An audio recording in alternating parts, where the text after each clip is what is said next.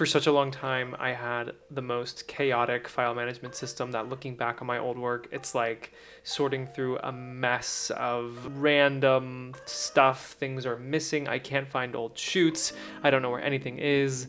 It's a disaster. Hi, everybody. My name is Zach. I'm a photographer and arts administrator based in Santa Barbara, California. And today we're talking about my file management system. File management might not be the sexiest component of photography, but it is definitely necessary. It is definitely something that I have come to love because it makes my job so much easier. And I want to teach you how I do it so hopefully you can take something from my workflow and bring it to your workflow to make your life a little bit easier. So let's jump into my computer and look at my process. All right, so here we are on my desktop. I have two Finder windows open. You'll see on the left is my working drive and on the right is my SD card. I have several drives here, as you can see, one's for personal work, one is for my work for the opera, one's a backup drive for all my client work, and one is a working drive. All of these drives, except for the working drive, are regular hard drives. I actually use the LaCie Rugged drives, those orange hard drives that you've seen. I use those for um, these drives. Anything that I'm actually working off of, I use my working drive, which is an SSD drive. I highly recommend you use an SSD drive if you are editing files directly on your drive as it will just speed up your workflow. It'll make your life so much easier. So the first thing I do when I'm ready to import my files from my camera to my computer is I create a new folder on my working drive. So I do this by saying right click, new folder, and then I create a folder with this folder structure. I start with the year, and then the month, and then the date, then a description of what the type of photo shoot is. So portraits, um, couples, weddings. In this case, I'm going to say together. And then I'm going to add the client's name.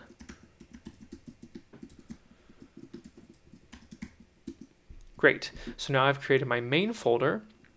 Now, just a quick note here, if you use Capture One, you can't actually use these vertical bars to separate the components of the folder name. For some reason, Capture One can't read those files, so you should use underscores. If you're using Capture One, just keep that in mind. It's crazy, it's weird, it drives me absolutely nuts, but for whatever reason, Capture One can't read it, so just use underscores in the place of these vertical bars.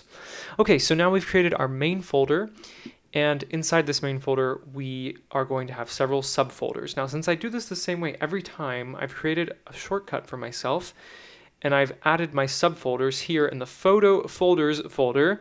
So these are just empty folders. It's just a folder structure that I've created. Capture, selects, Lightroom, export, and in the export I have high res and I have low res. So I'm just going to copy all of these folders. I'm going to say Command A to select them, Command C to copy. I'm going to go back to our main folder that we just created. I'm going to say Command V to paste. And now I have my main folder and I have all of my subfolders and I'm ready to import my files from my SD card onto my working SSD drive. So now I come over here to this tab over here on the right. This is my SD card, EOS Digital. I use a Canon camera. That's what this is, EOS. I open my folder and here are all my files from my photo shoot. Okay, so these are all the raw files. Now, typically when I shoot, I always format my card, my memory card. That gives me a clean base to start from. It minimizes the chance of corruption.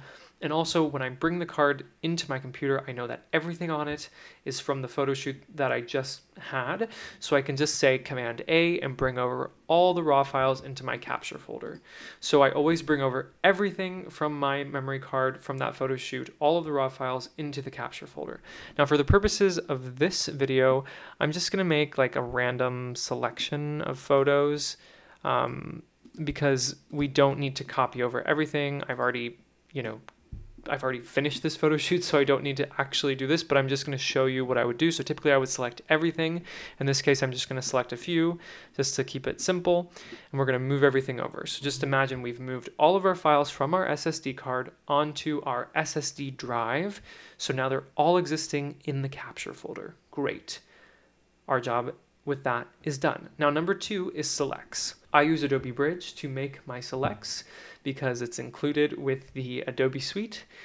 Some people use Photo Mechanic. You can use whatever works for you. Bridge is okay, and um, it's worked for me, so that's what I use. So here we are in Adobe Bridge. Um, I'm going to navigate to my working drive. I'm going to navigate to the folder that we just created and to my capture folder. And here we can see all of our files, okay? So if I click on these, we can see the photos from the photo shoot. Now, typically this would have everything in it. Um, these are just a few from that photo shoot. So maybe I'll select um, a few of these. So I'll press spacebar to get a better view of these. I like this one. I'm going to say command one to give it one star. I'm going to go through here. Um, I was doing some motion blur stuff with these. I don't think any of my favorite ones are in this little selection that we made, but um, we'll go with uh, this one kind of fun. Okay, so just for the purposes of this video, let's say that we've starred all of our selected images. We want to just move those selected images into our selects folder. So we go up here to create a filter, show one or more stars because we've only starred the images in our capture folder that we want to select. So in this case, it was just these two photos and I'm going to say Command A to select all of these. So I'm only selecting the photos that were given one star and I'm going to click and drag them into the selects folder. So now they've been moved from our capture folder into our selects folder. So I can close out of Adobe Bridge and if I go to selects here in my working drive, I can see, yes, here are the raw files. Uh, the XMP data is just the, um, the one star that we gave it. So after I've imported my photos to my capture folder and made my selects, I want to copy those photos onto my backup drive just to have a backup. Editing the photos takes some time, and in that time, if I were to lose the files or if something were to happen, I want to make sure that I have a backup. So I'm going to do this by selecting capture and selects and saying Command C to copy them. I'm going to open my backup drive and I'm going to create a folder in the same way that I did previously. The year, the month, the date, the type of shoot, and the clients. And I'm going to paste those folders that I copied. Now, all of my images have been copied onto my backup drive, and I know that I have a backup of all of those raw files. Okay, so now we are ready for the next step, which is Lightroom. So I'm gonna go ahead and open up a new Lightroom catalog. Now I've done this a few different ways in the past. I've tried a few different things. In my personal opinion, I think it works best if you actually create a new Lightroom catalog for every photo shoot you do. It just keeps everything organized really tidy so that you don't end up with random Lightroom catalogs that aren't synced to photos and like you can't find a where your catalog is because one photo shoot was in a catalog but where's that catalog? It just can get very messy. You can lose where your photos are. It just it's a big headache. So i think to minimize that it's easiest to just create a new lightroom catalog for every photo shoot. That's my preferred way of working. You might disagree um, but this is what I do. Lightroom is prompting me to, to create a new catalog because it can't find the last catalog. You could also go to File, New Catalog. Um, so I'm just going to say choose a different catalog and I'm going to say create new catalog and I'm going to name it Virginia and Daniel. I'm going to make sure it's in our working drive in our Lightroom folder. Great and I'm going to say create. And now Lightroom has created a catalog here. And if we go back to Finder, we can see that in Lightroom, we have our Lightroom catalog. Great. So now we're going to move our selected images into our Lightroom catalog. So I can do this by making sure I'm in the library module in Lightroom, and then I'll just click and drag my selects folder these are the selected images that we made in Bridge. I'm going to just click and drag that folder into Lightroom.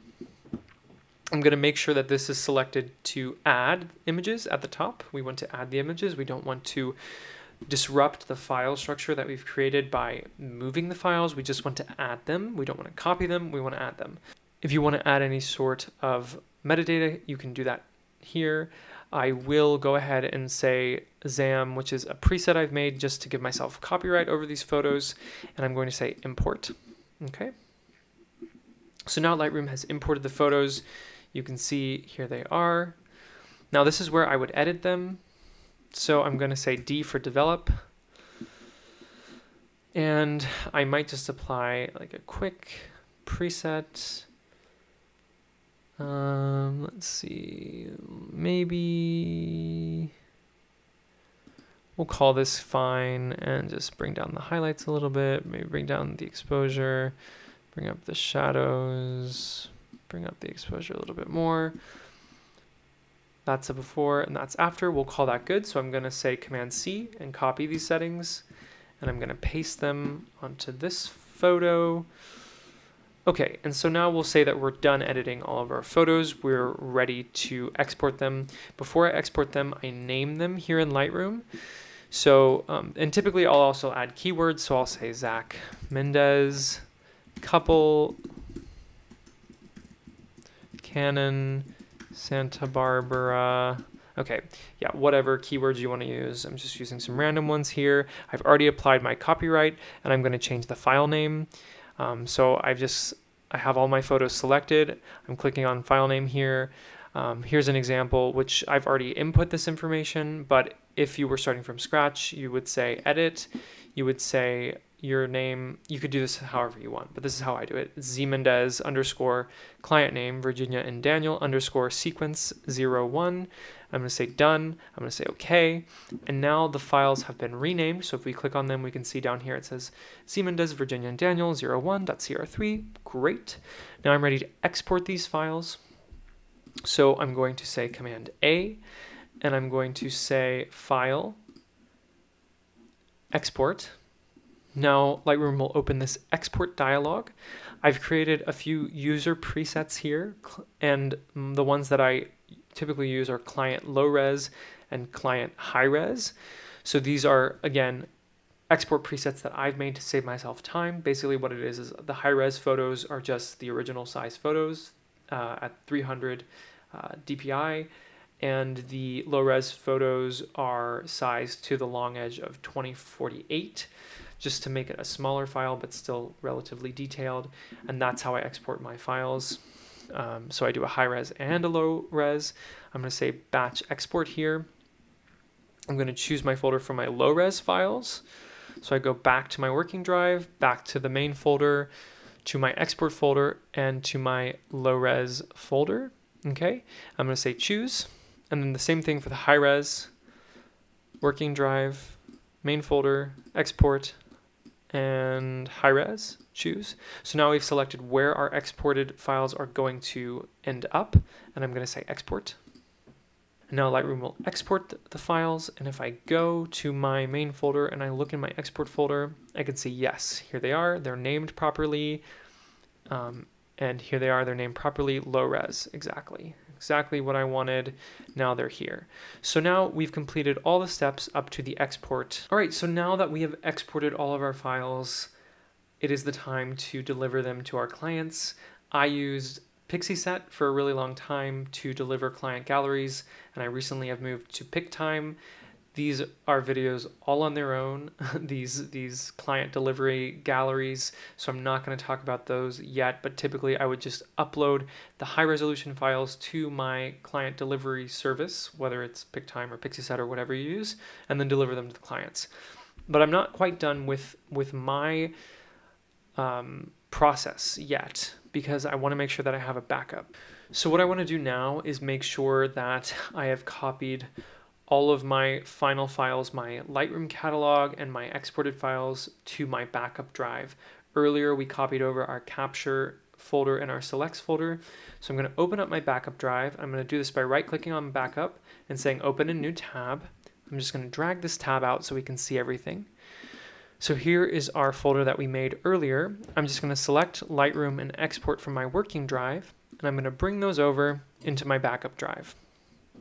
This ensures that when I remove the main folder from my SSD drive to make space for my working drive, it just ensures that everything's going to be correct and up to date on my backup drive. So I'm not quite done yet. I have one more backup to make, um, and I do this by backing up my final exported images to the cloud. I use Dropbox for this. This is something that I recently started doing. So I'm going to open, so I have Dropbox here open on my computer. This is the Dropbox um, desktop client. It syncs with Dropbox. So you can see here I have several folders uh, client work, personal work, opera work for 2020 and 2021. So I'm going to open the 2021 client work. And here I've already, this is the folder that I've already made for Virginia and Daniel, but I'm just going to show you here again. So we'll do it in the same way. Um, this naming structure. By the way, this naming structure is one that I learned from Julia Trotti. So if you don't know her, you should check her out. She's a really amazing photographer and YouTuber. You probably all know her already, but um, if you don't for some reason, check her out. She's amazing.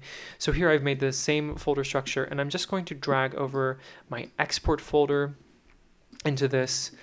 Um, I'm only going to bring in my exported final images to Dropbox just as a final, final backup um, in case any everything else should fail.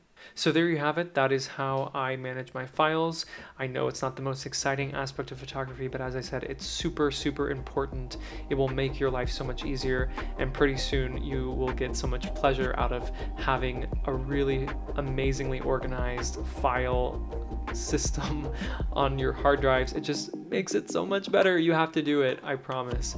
Um, if you have any questions about the way that I do this, please let me know if I'm doing something that can be improved on, or if you have any tips and tricks, please let me know in the comments. As always, I appreciate the thumbs up and I appreciate the subscribes and all of that stuff. Thank you so much for watching, and I will see you in the next one. Bye.